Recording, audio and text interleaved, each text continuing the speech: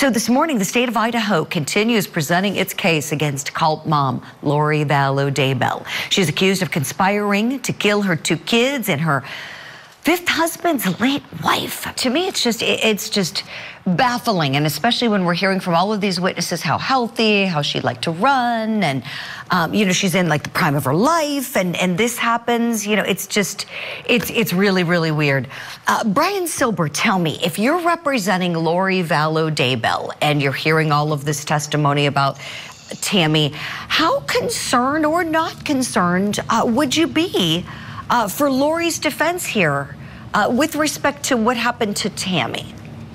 So this is how I feel about this case. It's a circumstantial case, but it's a strong one.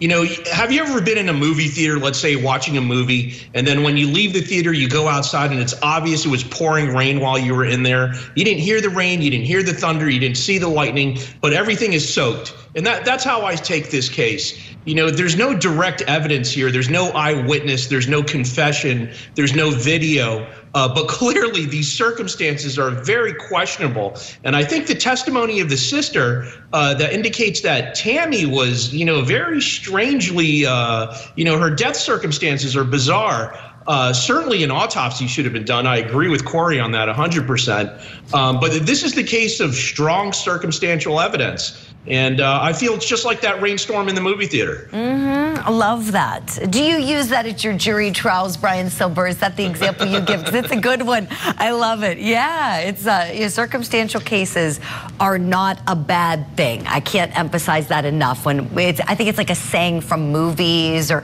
you know, and people say, "Oh, well, it's circumstantial." Yeah, and that can be sometimes the best evidence out there. Uh, so not necessarily a bad thing. Brian Silber, Corey Piggies, we are just getting started.